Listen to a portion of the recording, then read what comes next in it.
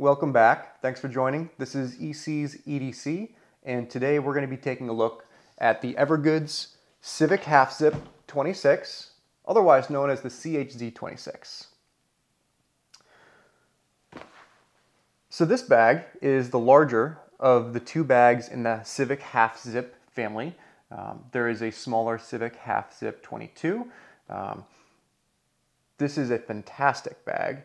It offers incredible flexibility um, from work to play, bringing it to the woods, um, and even travel. So we're going to go through all the features, dive in, talk about who it's for, what its best use cases is, and perhaps identify if this is a good bag for you. Now, the Evergoods uh, family have developed a custom 840D ballistic nylon that is used on the exterior of this backpack. Um, it's also DWR finished, making it great for weather resistance. There are two exterior zippers, one here on the side of the bag. This is that half zip, right? This is the half zip that goes water bottle pocket to water bottle pocket. And there is one here at the top. This is the yoke pocket or quick access.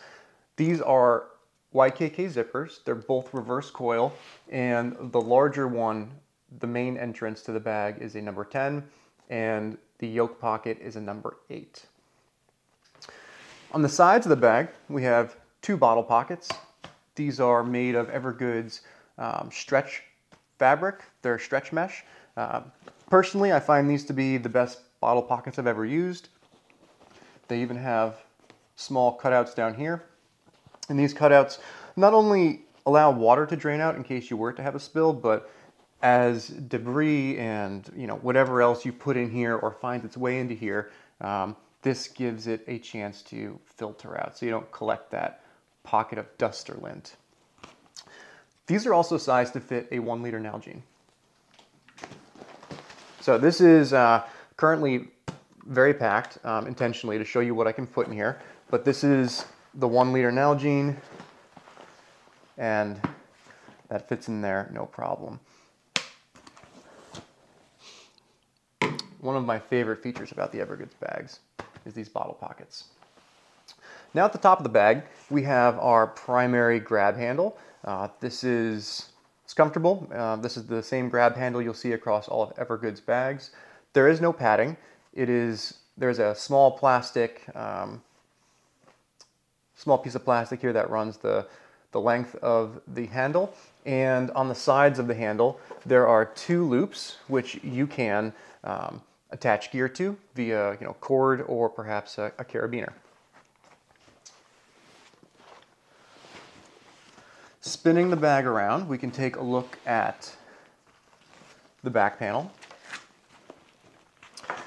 Now the back panel is their current version. Uh, this is the, the spacer mesh here um, behind this nylon fabric. I find that, you know, in the bags that I own, uh, with this newer back panel. It breathes very well. It's very comfortable. Um, these channels allow for sufficient air to flow and the breathability of the foam that they use in here is, is quite good. And even in the strength of summer heat, um, you know, all backpacks are going to make you sweaty. You know, you just got to take that with a certain grain of salt. This one does a great job of keeping you cool. The shoulder straps, these are contoured uh, to be very comfortable. They are made of uh, Zote, I believe it's uh, the Zote foam. Um, I'm not sure which specific foam they use. I think it's the 50, Zote 50, um, across their Evergoods bags. And up here we have the webbing where you can, or the daisy chain, where you can attach their sternum strap. Um, this bag does come with the sternum strap, and you can see there we have the Evergoods logo stitched in. This sternum strap is removable. Uh, it is also reversible, so if you want to flip that around so it's left hand action versus I would call that right hand action, um, you can go ahead and do that. Also, with the majority of Evergoods bags, uh, because they are cross function, um, this small sleeve here gives you the ability to pass through a water bladder hose. Um, And the bladder, we'll look at that in the inside. There's a small loop where you can hang that inside the bag. So it's a quick rundown of the exterior features. Um, one thing I will mention about the, uh, the straps, there is no strap keeper, no strap management. Uh, these will just dangle. Um, unlike some of the other Ever, Evergoods products, uh, they don't they don't provide you with that. So you will have to buy something third party if you want to bind this with um, a piece of elastic or perhaps just a small piece of hook and loop to secure this down to the to their piece of nylon. But I do know that is uh, you know something folks talk about, and same could be said about the sternum strap. Um, that will just dangle off when connected. So the CHZ26, it does have a smaller version, that 22.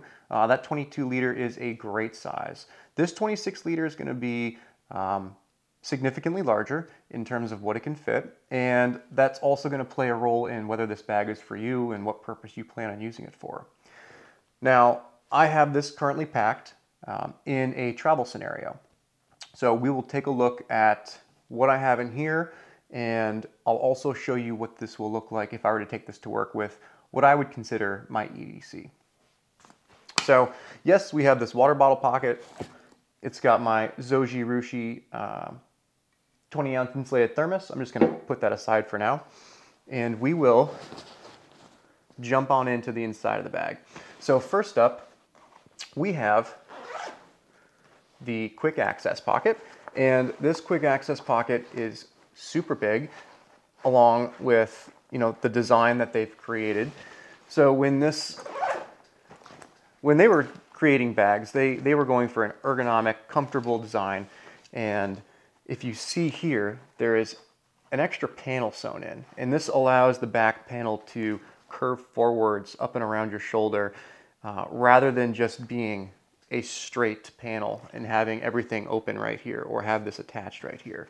And in adding the panel, they were able to create this yoke pocket, um, which is very large.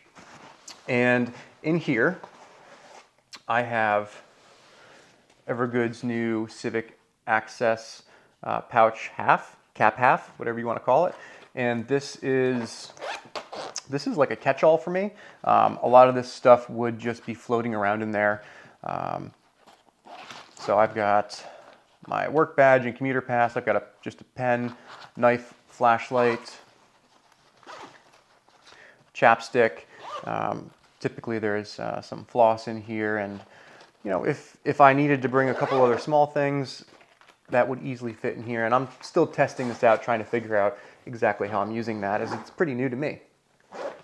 Um, but this pocket up here also has, I didn't mention this, um, it also has a lanyard and a plastic Duraflex um, clasp, a spring-loaded clasp for you to secure your keys. Um, keys, those would also be up here most of the time. So when you open the Civic half zip line, because it's a half zip, right, this is gonna drop down. And Evergoods designed these two pockets pretty smartly. Um, this lower of the two pockets, right, when this is when this lid is up, this is the lower pocket. The zipper is actually on the bottom so that when this is open, it becomes a zipper on the top. And they've got this great stretch mesh that you'll see across many of their products. And in here I have two micro topo pouches. But um, it's a pretty cool design, right? Like if you were and you'd have to be smart about how you pack this out, right? If you open this, this is one of the most accessible pockets on the bag, along with whatever you're putting in here. And just being, you know, smart and proactive about what you're gonna need, what you're gonna have access to, and what you wanna have access to. This is a great way to access this pocket. Whereas if this zipper was in the same position as this top pocket zipper, you know, if I were to open these, you know, my stuff's my stuff's gonna come out. So I can't really, I can't use this pocket when it's in this upside down um, orientation. So, cool thing, right? It works. Um, This bag does stand on its own when fully packed. If it's not fully packed, it does want to teeter, and you know, depending on what you've got inside, it will stand. Maybe it will, maybe it won't. But let's uh, let's take a look at what I got inside. As mentioned, uh, we have this mesh pocket down below. All these pockets do hold their own independent volume, giving you the ability to actually put some things in here, um, some substantial things in here. This top pocket, this opaque pocket, um, is large enough to hold, you know, I've got my keys, uh, carabiner in here. For reference, let's pull out that newer half cap, um, see if that fits in here just for your understanding. It does fit. Uh, you know, I had to force that in there a little bit, but it certainly does fit. And again, that independent volume. And you can see here from the profile what that pocket's sizing actually looks like. It's quite triangular and is fairly substantial.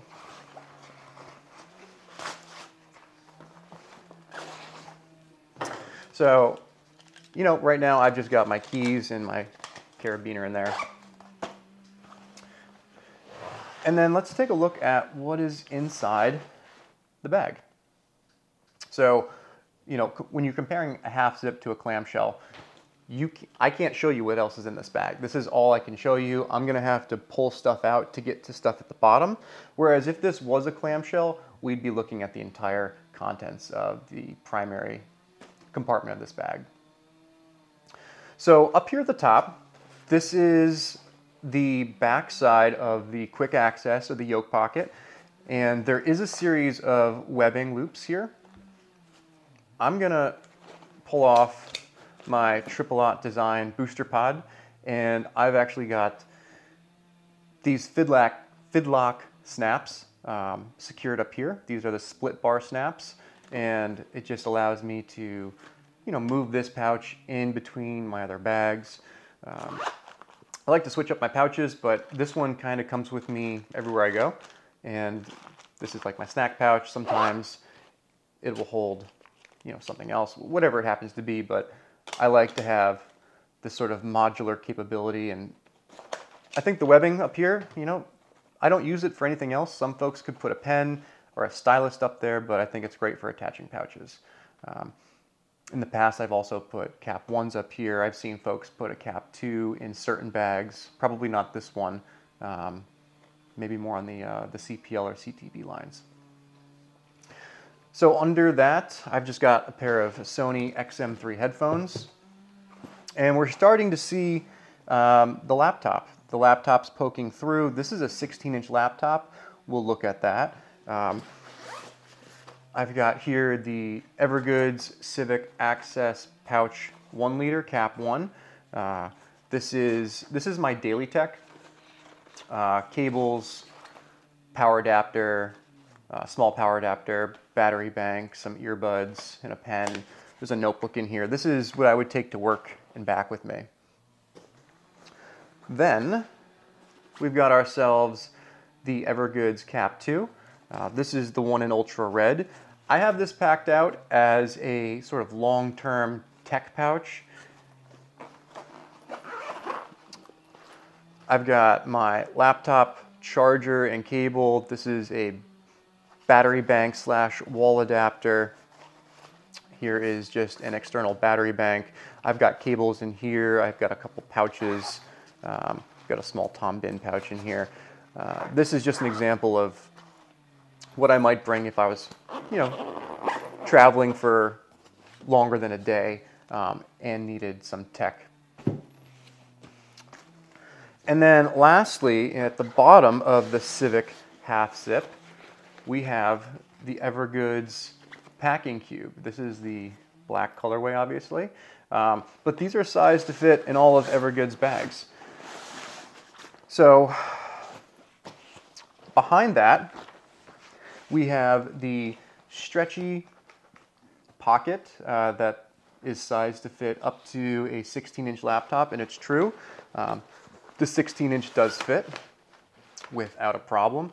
Um, 16 inch MacBook Pro, that is the current year model. And I also have an iPad in here. We have a, uh, a small Evergoods tag designed and developed in Bozeman, Montana. We also have that same patch here on the inside, designed and developed in Montana. Shows you the 840D ballistic nylon with the uh, 50D monofilament back panel. So that is, you know, that is your, that's what we got in here. Um, I got a lot of stuff in this bag, as you can see, and this is sort of designed for travel. So in here I have um, four t-shirts, four pair of underwear and socks, and a pair of sweatpants. Um, so potentially quite a few days of travel. I could have easily put in a small Dopp kit in here. I chose not to. You could sub one of these, one tech for, for a Dopp kit, and you know, you've got yourself a travel bag. So if I were to take this to work, let's put the laptop, laptop and iPad back inside. Um, one thing that I experienced using the half zip line is, and it's not so much a bad thing, it's something you have to determine whether it's you know worth it for you, are you going to be able to deal with it. Um, now this was the first Evergoods bag I ever had, so I never thought about any other way of using you know a laptop situation. This quick access pocket, this yoke pocket, on the 16 inch machine, it overlaps your machine. And just slightly, you have to pull it back. All right, so I'll do this from the top. Just so slightly, you have to pull this back to pull the machine out in front of it. I never even noticed that being a problem until someone mentioned it, you know, a little while later to me. And, you know, and then I had started using the CTB and the CPL series more with that external laptop compartment. Um, so here on the 16 inch machine, it is a little troublesome and cumbersome to, to bring it out, not so much going in. Um, that is just something to take into account. There's also not a great place for a tablet. I just have these two machines on top of each other. I always thought it would be a really nice addition if they were to put that tablet sleeve, a second stretch mesh, um, here the same way that the Panel Loader Classic has. I thought that would have been a great addition to this line so that folks who have, I mean, most folks are now carrying an iPad with them. Um, so that could just kind of get tucked like that. You know, just be right there, it's on top, it's separated. But this is fine. Um, the machine's secure. I, I don't worry about them scratching each other uh, it'll, it'll, it'll be fine. But going back to traveling to work, um, I'm always going to have my headphones. I'm always going to carry my tech. I won't be bringing my my cap 2 unless I'm bringing my camera to work. If I'm bringing my camera, I might bring a cap too because that is also what the, what I carry the camera in. We will place the Triple Aught Design booster pod back up top. And a lot of times when I go to work, um, I will bring a small packing cube, this Peak Design packing cube, and I'd probably be wearing the jacket in the morning, those cold mornings, but on the way home, it might be in the bag. So that packing cube just kind of keeps it separate, makes it easy to get to if I need it, also protects it. Um, uh, we got the cap one in there, and we got my headphones in there. So if you are looking, we have a ton of space in here still, right? There's a ton of space. You've got all of this sort of volume that rests above where the cap and the laptop and this uh, packing cube and headphones are. So this is one of the downsides to a half zip. One of the half zips kind of applies to both when they're not fully packed out. So when we zip this up, when we zip this up, I have contents here in this top pocket on the inside. You'll notice because of that outward triangular design the weight shifts down. And that gives this sort of a, you know, sort of a little beak, if you will. It's kind of like a rhino horn. Um, I don't think it's ugly. Some people find it to be not aesthetically pleasing. Um, but, you know, if you're not packing this to the brim and you don't have any way to structure support here on the inside of the bag, it does sag on it. And that's also dependent on what you put up here. If you don't have a lot of heavy stuff in here, this isn't going to sag so much. So, for example,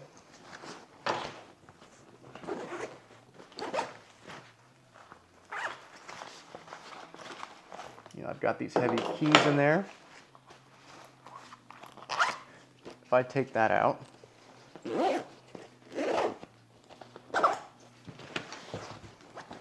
If I take that out, you still have the rhino horn, right? This, this is still going to protrude a little bit, uh, but it doesn't sag. There's no weight pulling this down. There are, that's actually a lie, there are two of those micro topo pouches here. They're pretty lightweight. I don't think that's pulling too much.